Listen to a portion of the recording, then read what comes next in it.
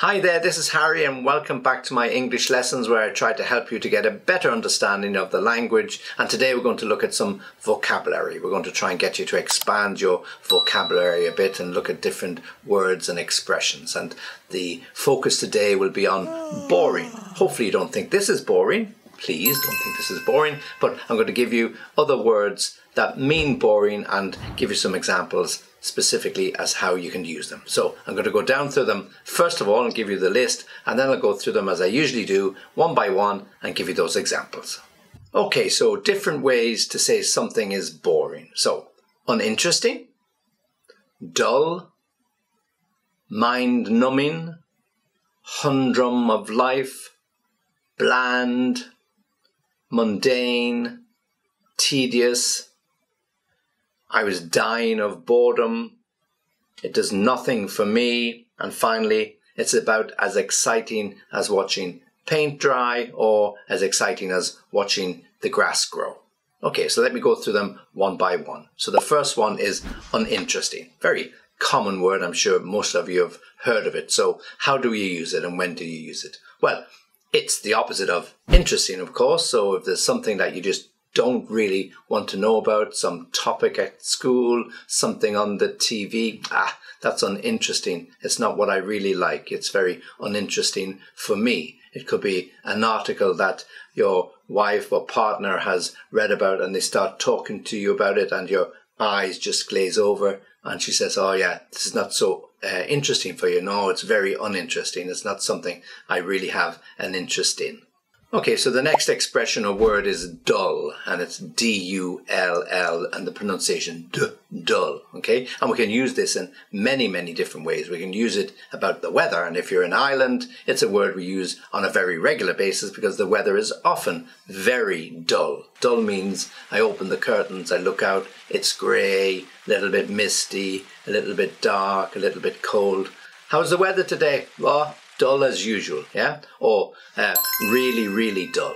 But stories can be dull. Dull because they are boring, dull because they are uninteresting. Yeah, that TV series, it's so dull. I mean, there's nothing ever happens in it. Well, I don't know why we're watching it, and whoever thought that would be interesting. It's really dull. So, books can be dull, movies can be dull, people can be dull. Oh, those new neighbours that moved in. Have you spoken to them? Oh, yeah. He is so, so dull. She's very uh, interesting, but he is very, very dull. Okay, dull.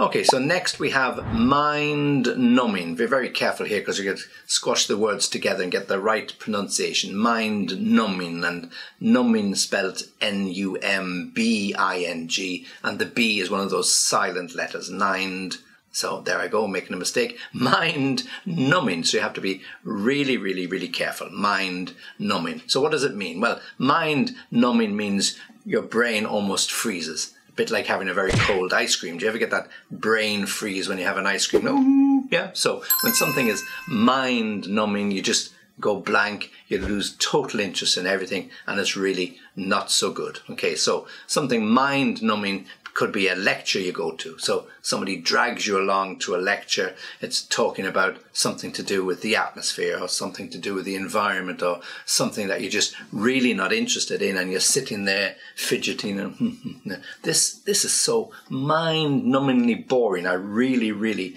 don't like it at all at all. Okay, so mind-numbing, mind-numbingly boring, okay, something that you really don't find interesting and you just lose complete interest, your mind goes blank, and you switch off. And now for an expression, the humdrum of life. So, why does that mean boring? Well, it's not boring in that extent, like a book that you'll put down and you'll close and you just switch off, or the TV that you'll switch off, and the TV series is, is boring. But the humdrum of life means something exactly the same day in, day out, day in, day out, week in, week out, month in, month out. So it just goes on and on, very repetitious. Okay, so when we're into that sort of routine, and often routines are good, but after a while they get a little bit boring. Okay, so the humdrum of life. So you go into work and you're chatting to your friends and saying, ah, you're looking a little bit gloomy today or a little bit depressed. Ah, it's just the humdrum of life. You know yourself. Same thing, same old thing every day. Humdrum of life. Okay, so back to some vocabulary. Well, the word bland also means boring. So how do we use bland? Well, we don't describe a person as bland or we don't describe uh, the clothes you're wearing as bland, but things like uh, the colors in the color scheme in a room. You go to a hotel with your partner, and when you look at the hotel room, it's not so exciting. It's maybe a three star hotel. You say, hmm, it's a little bit bland, a, little bit uh, dull, a little bit boring. Okay. Often we use the word bland to describe food that we don't really like the taste of, or we don't get any real taste for it. So somebody presents you with a, a, a cake, a new recipe, and you taste it, and well, actually, you don't really get the taste of anything in it. It's a it's a little bit bland, isn't it? It could do with a little bit of spice to to spice it up. Yeah, something to give it that little bit of zip, a little bit of a taste. So at the moment, now the soup is a little bit bland. So add a little bit of salt, add a bit, little bit of pepper, and suddenly, mmm, that tastes nice. So you take the blandness out of it by adding some spices. So when something is bland or tastes bland, very boring, plain, very ordinary, and it's the same with the bland look, as I mentioned, of the hotel room. Yeah? Okay, so bland. Okay, and the next word is mundane. Just be careful with the pronunciation. M U N D A N E, mundane. Dane, like somebody from Denmark. Danish, yeah? So mundane. And mundane means everyday, but every day in a sort of a boring, repetitive way. Oh, mundane. This work is so mundane. Everything is the same. I'm working in a back office. I look at these files. I post them. I clean them up. I tidy them. I save them. Whatever I have to do, but it's the same repetitive work. Monday, Tuesday, Wednesday, Thursday, Friday, whatever day of the week, the work is exactly the same. Now, be careful of the pronunciation, as I said, that we have the day of the week, Monday, mundane. Okay. Now, Mondays can be very mundane because it's the most boring day of the week, the beginning of the week, and every, oh, Mondays. Yeah. We, we get those uh, over with. So, Monday is mundane. Mundane is boring. Mundane is ritual. It happens all the time, but not in an exciting way. So, life can be a little bit mundane when nothing happens. Okay. So, mundane. Okay, so when you check up boring in the dictionary and you're looking for synonyms, you're going to come across the next word, tedious. Okay, now it's not necessarily boring in the sense that you just don't want to do it and you want to put it away, but tedious means a little bit difficult. Okay, but it's something that is with a lot of little detail and really, really you don't want to do it. So a crossword puzzle could be quite tedious. You know, you're trying to get all these clues and you come across the last two and you just can't get them and it's a little bit tedious. Or if you're knitting and you're trying to make sure that all the stitches are counted properly, that work and that handcraft can be a little bit tedious. So it's usually referring to tiny little details that become repetitive, become a little bit difficult, and you have to spend a lot of time dealing with it and you'd prefer to be doing something else. Yeah. So tedious work. Okay, so if you're painting your room and you've got a big paintbrush and you're lashing the paint here and there, everything is wonderful. But when you come to the little details, you know, around the door frame, around the light frame, that work can be a little bit tedious because it takes you a long time. You've got to be extra careful, otherwise your wife will complain when you get paint on the light bulbs or paint on the light fittings. So it can be a little bit tedious and as a result can be a little bit boring. So any of that small, tiny little bit of work that take that extra little bit of attention, that extra little bit of care, and you don't really have the time to do it, that's what we can describe as tedious.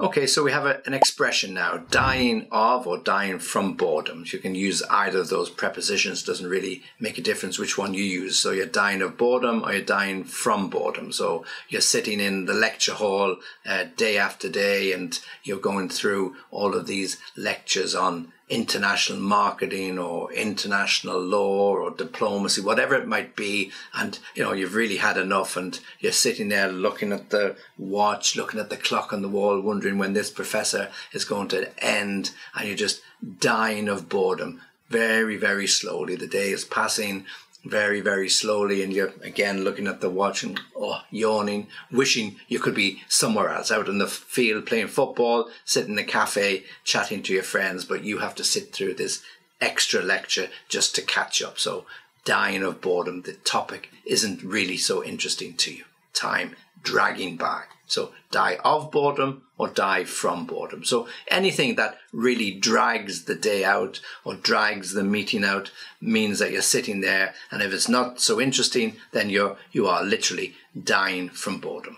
Okay, well another expression is it does nothing for me depending on where you put the stress, it does nothing for me or it does nothing for me. Yeah. So it depending on how much emphasis you want to put on it. Well, it literally means that you're not interested in it, you're not excited by it, and it's a little bit boring. So you go to a house and you're looking around at the, the, the rooms to see can you get any tips as to how you might redecorate your home, how you may revamp your house, and you look in the rooms. Well, this does nothing for me. There's nothing here that I think where where will add any value or any benefit to our home. Let's go and we'll look at something else. So when something does nothing for you, it means it doesn't float your boat. It doesn't light you up and think, yeah, really, that's really something we we could do. Yeah, or uh, a meal out in a five star restaurant where all the waiters in beautiful uniforms and the bill costs an arm and a leg and the food is a little bit bland. That might do nothing for you either, yeah? Whereas you might be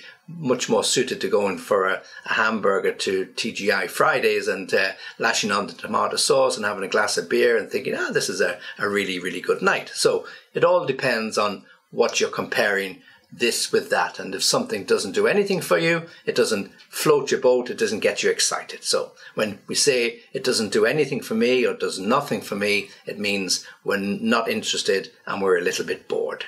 Okay, and the last expression I have for you is it's about as interesting as watching paint dry or watching grass grow. Okay, so this is the ultimate in insults when somebody tells you that's what they think about your, your lecture or your presentation or your performance, whatever it might be. Oh, here we go again. We've got to go along to another staff meeting.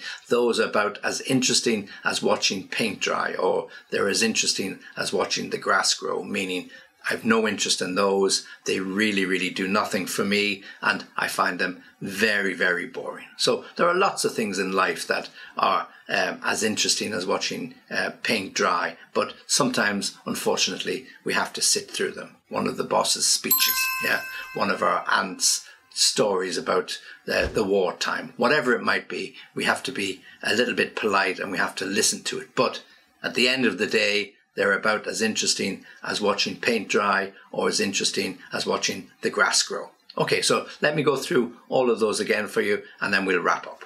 Okay, so we're looking at the word boring and some expressions how to say boring in a slightly different way. So what we've looked at are some words and some expressions.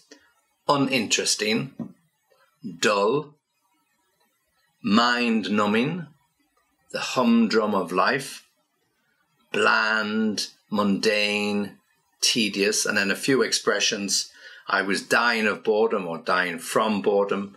It does nothing for me, and then about as interesting as watching paint dry or watching the grass grow. Okay, well, thanks for listening, and as always, don't forget to subscribe to the channel and join me on my website for more interesting aspects about the English language, and I'll catch up with you soon.